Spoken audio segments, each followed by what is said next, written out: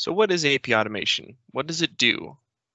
AP automation auto creates BisTrack supplier invoices from incoming PDFs and can auto approve those invoices if they match. The primary purpose, this can result in big time savings for the AP department. So how does AP automation accomplish this? AP automation uses OCR, optical character recognition. This is a term used to describe software that can convert printed characters into digital text. AP automation uses this technology to read the incoming invoices so it can pass the information along to BisTrack to create supplier invoices. Cool, right? Our partners at Innovate have been busy though. They've made AP automation even more powerful by adding in another tech industry buzzword, AI. Ooh.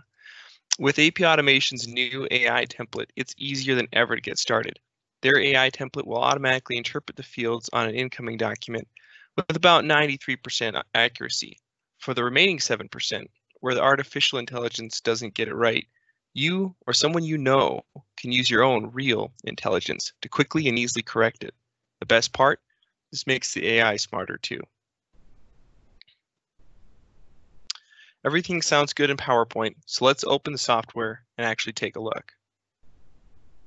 With BisTrack up, you can see I've selected uh, four POs. We're going to take these POs and we're going to invoice them using AP automation. You can see right now that they are in a status of waiting for invoicing.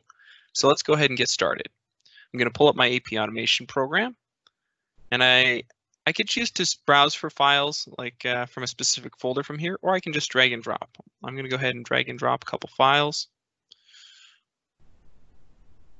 So here I can see that it's read all of the information off of the incoming file, and it's giving me a little preview of, of where it's putting all that information in order to send it on to BisTrack.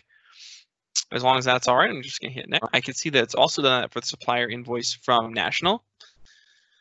And so, uh, you know, I can kind of review all those if I want to, or uh, or I can just choose to uh, hit Save All. And that's going to bring those uh, supplier invoices into BisTrack. So now back in BisTrack, I can see that those two uh, purchase orders have been invoiced. And if I right click and go to related documents for one of those, I can see that a supplier invoice has been created. Um, so that's in the, the, related documents tree.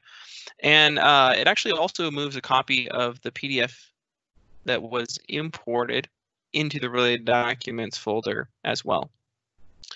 All right, with that, let's go ahead and process the remaining two invoices. So I'm gonna bring this one in first. Uh, so I can see on this one that um, I don't have a supplier code. So there's no way for the program to know uh, exactly what supplier this is for. It seems to be reading everything else properly. So I'm going to provide that supplier code to it. And go ahead and bring that into BisTrack as well. All right, now we can see a feature of the way the program works in that when I grab another incoming supplier invoice from Orgle,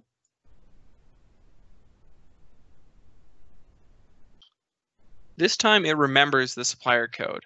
So it's actually looking at the addresses and it understands that, okay, this is the same one from before. Um, and it's basically learned that um, this address means uh, the supplier code based on the previous invoice that I put in where I had to manually override it. So that's an example of the program learning kind of as you correct small things and becoming better over time. So I'll go ahead and save that. And we're done. So now back in BisTrack, I can see that all of my purchase orders have been successfully invoiced. AP automation is an enormous value add due to the time savings to AP. Thank you for watching this introduction to AP automation presentation. Have a great day.